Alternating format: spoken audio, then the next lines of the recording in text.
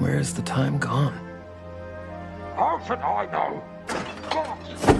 Quick, quick, quick, be light! No, out of my way! Ah! At long last, the sweet breath of freedom!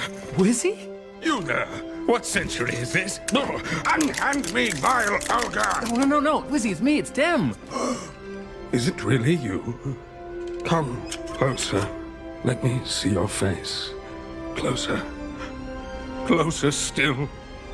Oh, Timothy, it is you. Hey, what was that for? You cast me into eternal darkness and wreaked havoc on my circadian rhythms.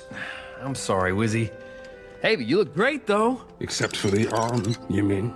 I didn't even notice. You thought it? I mean, I noticed because I you obviously don't have an arm. I, You I, will never treat Lam Lam this way. Well, I, I gave her to my daughter, Tabitha. You have produced an heir, Timothy. Two, actually. Two!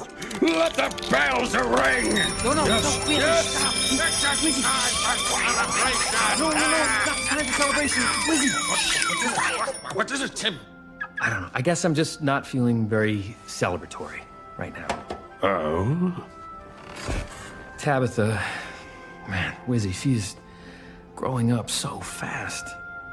It's like she doesn't even need me anymore. Yes, first they start spending less time with you. Hmm. Then they stop coming to you for advice. Exactly. Soon they take you for granted. I guess. Then break your arm. What? Then stuff you into a box. Okay, Wizzie, you're, you're not helping. Okay, I'm just I'm afraid Tabitha and I are growing apart. Like like I did with my brother. Oh.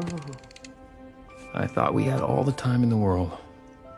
But you can't turn back time, can you? How dare you question my power?